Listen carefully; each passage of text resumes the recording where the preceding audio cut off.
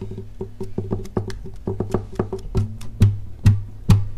guess I've got a few complaints here. Something living in the chimney. The garbage can is overflowing. The sink is full of dishes. The just about to go off. Just a person.